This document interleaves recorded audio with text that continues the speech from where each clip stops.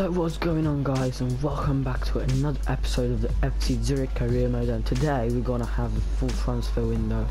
I think we're gonna do it in full because we don't have much to do and there's only one match so there's not a lot of traffic. So I'm gonna go simulate the first day of the transfer window. And Zimbro should leave and we get his money. We have again available the scout so let's see this youth report. So Lathy's potential has gone down drastically actually minus 4 to his maximum potential but his rating is going up. The only thing I don't like about this guy is that he has a right he's right footed and he's a left back so I don't like that much so Montedon is going down by potential as I thought even Ebel's potential is going down, but his rating is always going up. And the thing I don't like about Ebel is that he's quite short. He's not that tall. Mays has the best potential currently in the whole team. The clerk is uh, decent, let's say that. Gas Gash is just terrible. I'm gonna let him go if he keeps next month if he's gonna have 77 marks potential he's going away so now the clerk. Noah de clerk. so he's gonna sign him just because he has a very good potential and he's young so can develop. Um, nobody good in here. Can release everybody. Um, now an Argentinian trash player again. And um, now the Swiss guys this guy would have been good if he had a good rating. I'm gonna leave him here. It's a real shame he has a bad rating because he has a very good potential. So guys, you got an interesting offer for a player I haven't played at all this season and I don't think I'm gonna play because he's quite short as a centre back. It's a very low offer. I I have rejected a much higher offer before. So I'm gonna delegate it. Uh, see if I can get 400k minimum sale of 300k if we can get this kind of deal for Bangura I can consider signing someone from here. So we've got Sergio so, which is a very very good centre back. Very young is like Omar but even better. So this would be very interesting signing. Santiago could be good. Bruno Alves, an old signing which is very experienced and very good for the team we have, could take the place of Nathan in the first team lineup. And Burke, which is a young centre back, not very good, very cheap. So guys, an agreement for Umaru Bangura, which I don't think he's very happy at the club either. I'm gonna try to get a bit more out of him. And if they accept it then he can leave.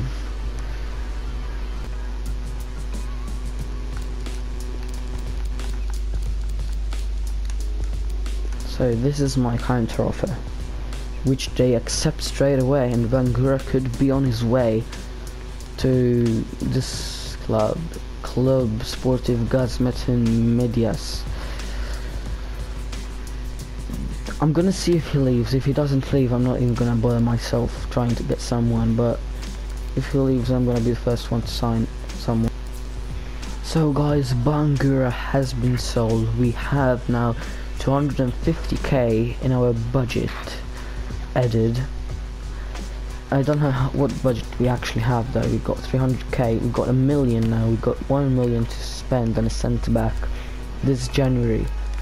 So I can't deny I'd really love to bring in Bruno Alves in, but it's quite cost. It costs quite some money to get him in. It costs half a million, actually, even a bit less. So I cons I'm gonna consider. I'm gonna think about it, guys, and come back to you. So guys, I've made my decision. I think I'm going for Bruno Alves. He's quite the best one. He's got 3 star skill moves, 3 star weak foot, 189 tall, we got four traits: power header, leadership, long pass, and power free kick. He could be a real boost to our squad, and he doesn't even cost that much. He, he's quite old, I have to say. We can give them a big sell-on clause because I don't think he's gonna we're gonna sell him. He's gonna retire the club, I think now. Um, do you have anybody to offer? I don't think so. So let's go straight with the transfer fee. Let's go with 400k plus 25% sell-on clause, which they don't accept, but they counter offer with an additional 900k. So I'm gonna go back with a 900 and 450k. They still want that much. Um, gonna counter offer just because I don't want to make them happy and they accept 470k for Bruno Alves, 73 rated, 38 year old, but still very good. So guys, we're here in the negotiating room to negotiate Bruno Alves' contract. So, he wants to be a crucial first team player, which I can give it to him straight away. Um, years contract, two maybe, two, two years. Let's give him two years. Which he wants. Great. Release clause. I'd like to give him a release clause, I'm not gonna lie. If anybody would want to pay Nah, for 800k I don't think it's even worth it. I'm gonna give him that release clause, I don't care. He's 38, if somebody wants to pay it, they can get him. It's good money for us. Now this is quite a lot for us, for a club like ours, so I'd like to give a 100k signing bonus. But reduce his salary to 10.5. Guys, I'm gonna go with it. Bruno Alves is a new FC Zurich player. Oh my god, what a signing this could be if he performs well, this is going to be a great signing. So now guys, we have the first and only match in the transfer window and the first match of the year as well, 2020.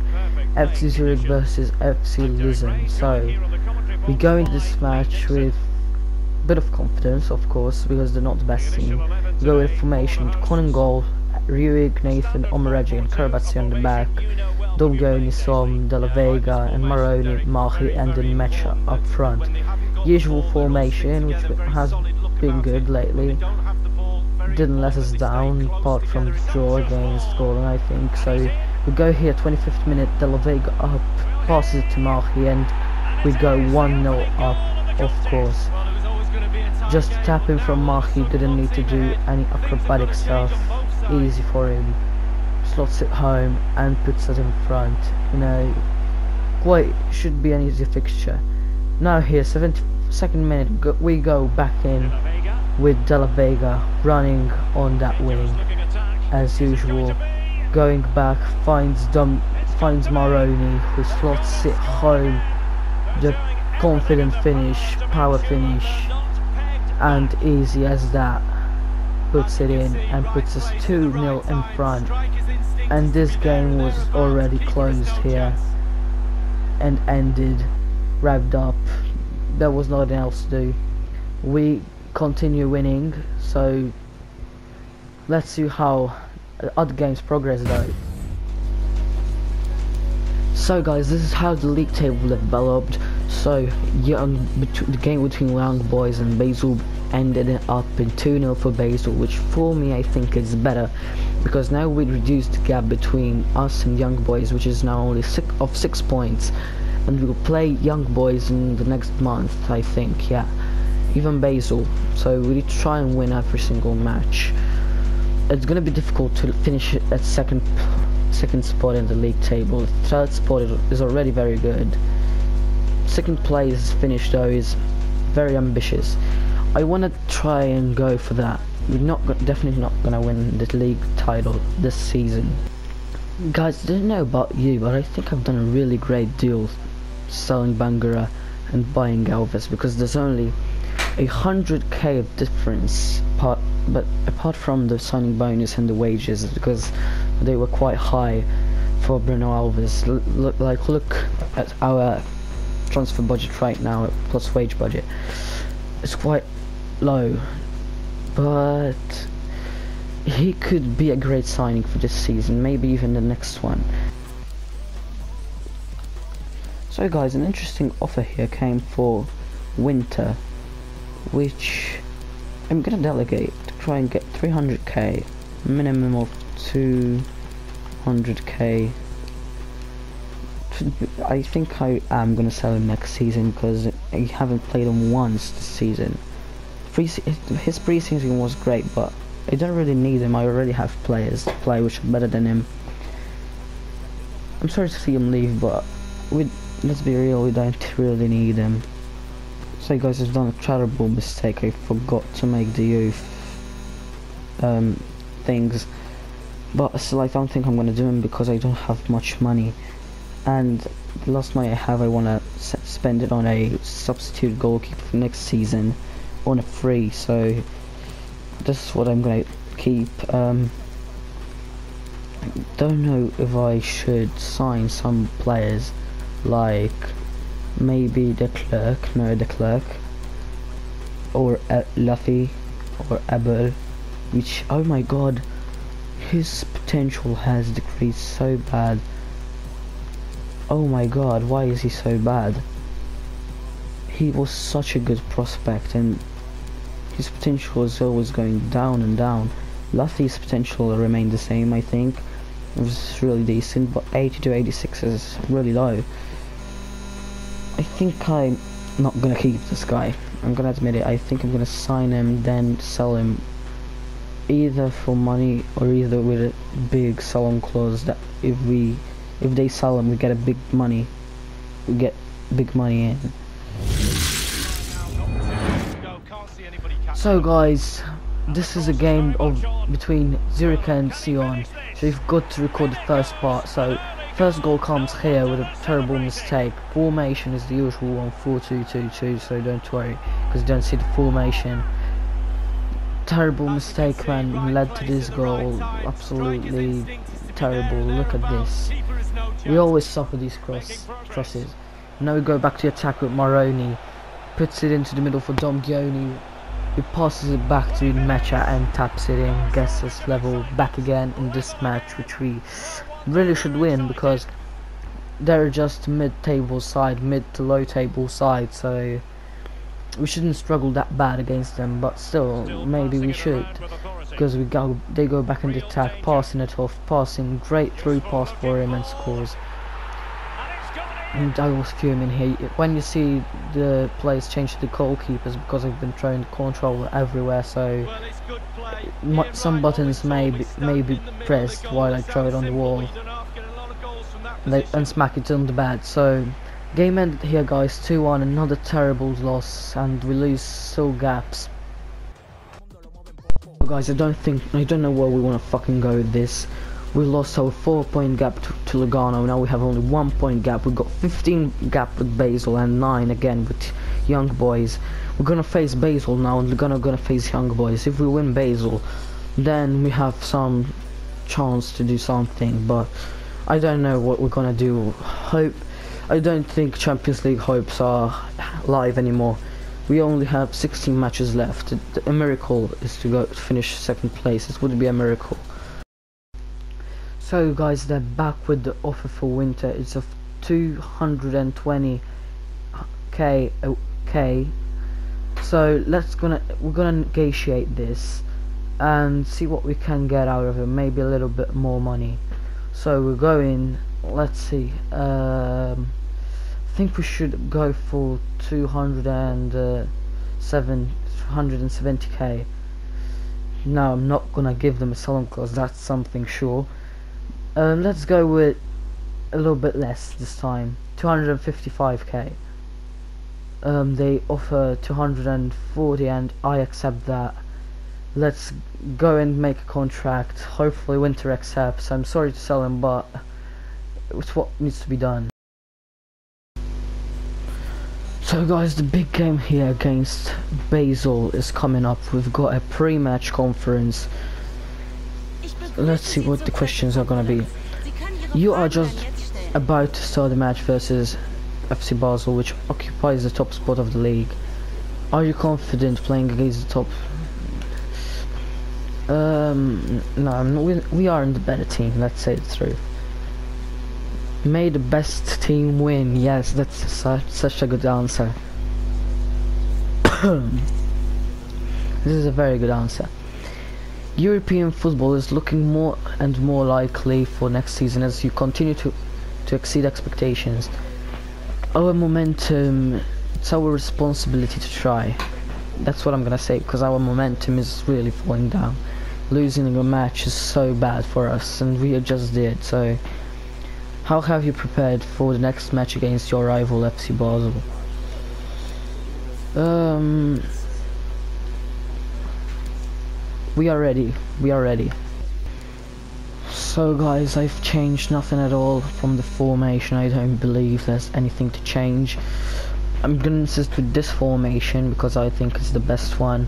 Hopefully it doesn't let us down and hopefully we can get a result against FC Basel. So guys, this is the moment. We really need to win this match. It's really important for our season. We risk letting Lugano get in front of us, even though they're facing younger boys. They still, they still can get in front of us. If, if they can get, a win, maybe who knows? FC Basel, a very good team. We won that. We won against them, and we lost as well. Come on, Maroni. Don't let them do that to you. My God, we're already risking concede.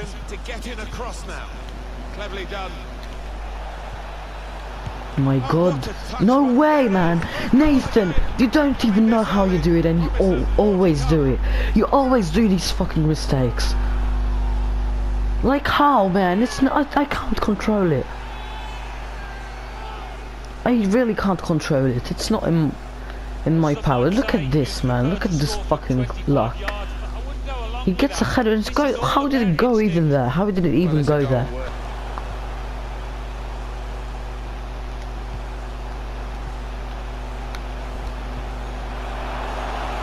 Son, Mecha, great goal. Everything is level again. Oh my god, we've, we've got it guys. We're level. We need to go in front. Great play from between Som and Mecha. Come on, Ruig. Run, Ruig. Ruig, come on, run. Somebody, man, get into fucking... What the fuck, man?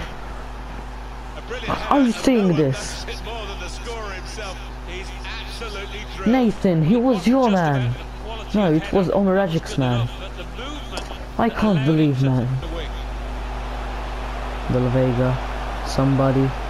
Why did you give it to Maroni? Mahi. Mahi. Get control the fucking ball. You don't have only two touches to do. Great pass for Lucas and Mecha. Lucas and Mecha. Domgjoni. Oh, we back level again for the for the second time. Domgjoni doesn't miss that. I thought he was, but he didn't. We go back level on 2-2 now. Great goal, guys. Let's not slip again, though. Let's not let them go score and score us again. Great goal. Great teamwork. Great from Ruig. Maybe not so much. Uh, come on, no way! Get in front of the, the striker! And get go down! The fucking crosses and fucking headers. Oh my fucking god. Fuck you, fucking passes. Fucking wasting my fucking time. Oh my god. Come on. Fuck you headers. I can't stand this anymore. Fucking headers. An incisive pass. Could pull one back here. And he does. Well, maybe, just maybe they can find an equaliser in the time that remains. Okay, fuck off, fuck off, man. What a fucking disastrous match. Our defense is shit. Absolute shit. Defense is is shit. Fucking shit. Lugano have even won. They didn't play against young boys. And they fucking won, so they go to fucking third place. They have three, two points of ad uh, advantage uh, now, do they?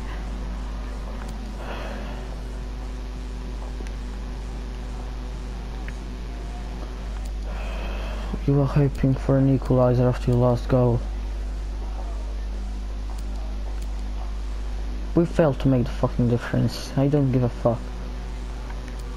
Mistakes were made. Mistakes were fucking made.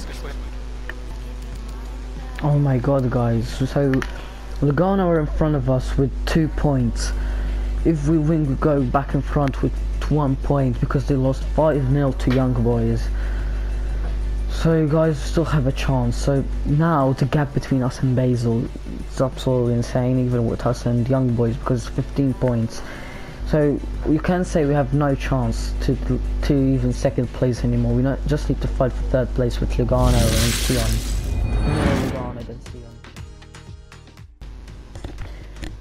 Hey guys, we're here now for Zurich versus Servette away from home.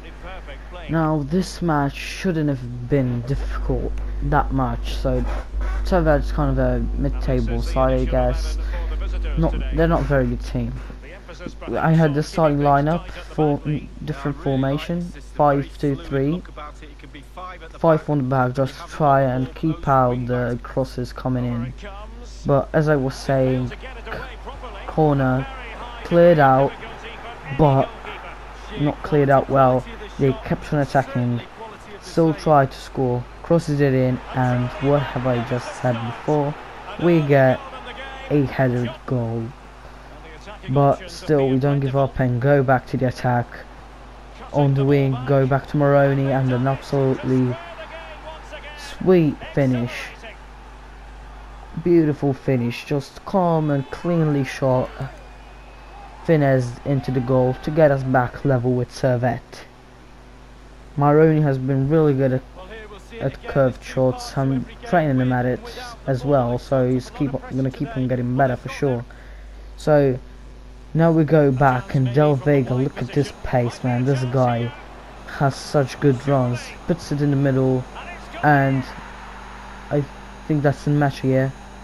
No, Som. Som puts it in, slots it home, and we take the advantage on Servette with a small comeback here and the game ended hit this way 2-1 important win of course like every single match. It's an important game. We need to win them all. So don't underestimate these wins because I, I really don't. So we go to this match now against Neuch Neuchâtel Xamax so they were last in the league table. I've played the same exact formation don't I think maybe I've changed some players. I don't think so though. No, played exactly same exactly the same formation apart from Mummy and Nathan are switched, but I'm gonna switch them later in the match.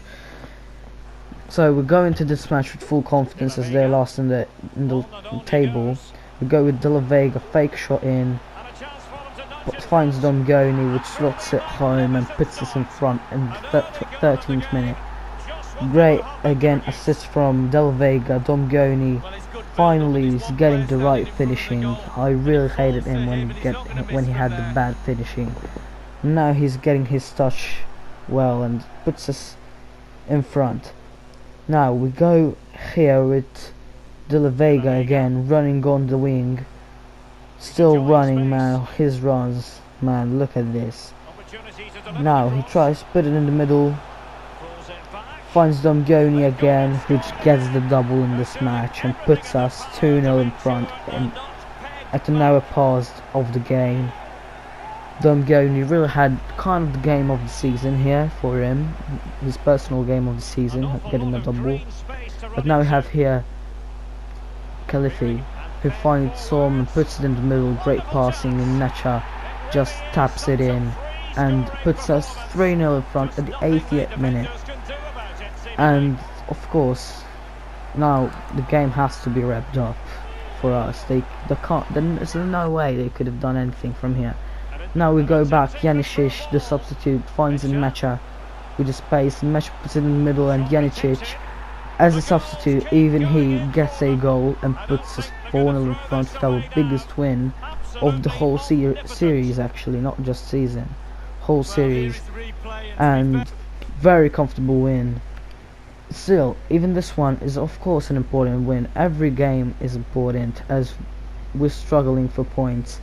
Seven losses and two draws aren't bad, are, aren't good, so we need to keep on winning.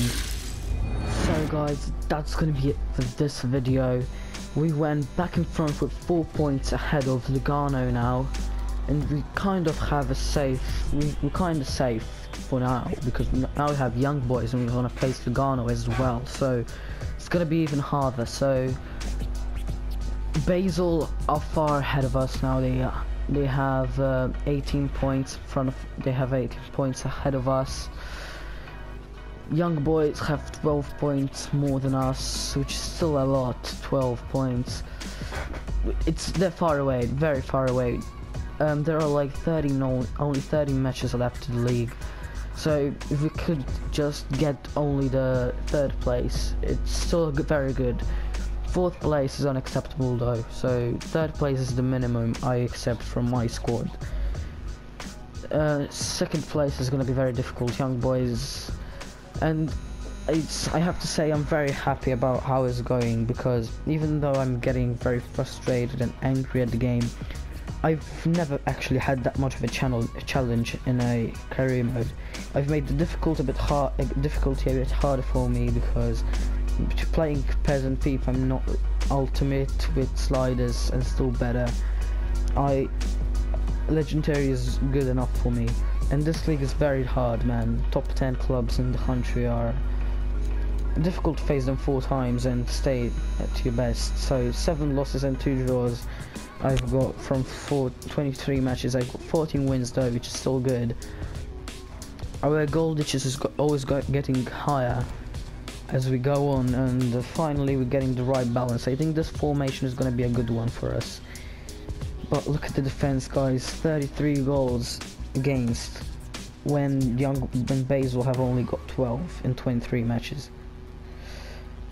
Guys, hope you've liked, subscribed and have a good one. Peace, see you to the next episode. Goodbye.